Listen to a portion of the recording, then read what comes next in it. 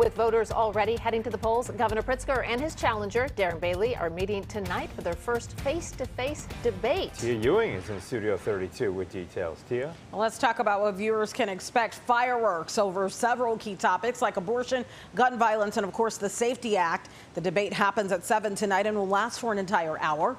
Both sides will get to outline their vision for the state leading up to the November election. Bailey has called Pritzker out for being soft on crime. Pritzker will have some women in support of him in the audience who have openly discussed their need for reproductive rights. The governor says Bailey is a Trump endorsed extremist. My opponent, Darren Bailey, is a Trump extremist who would take our state backwards. He opposes abortion, wants to jail doctors for it, would force a 13 year old rape victim to give birth. He voted against funding for crime labs that now have eliminated the backlog of rape evidence. And he even wants to throw Chicagoans out of the state.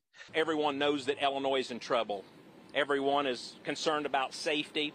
Everyone's concerned about high taxes and everyone's concerned about our schools. So our campaign is going to unite the state, doesn't matter what political view you hold. Again, the debate happens on the campus of Illinois State University at 7 tonight.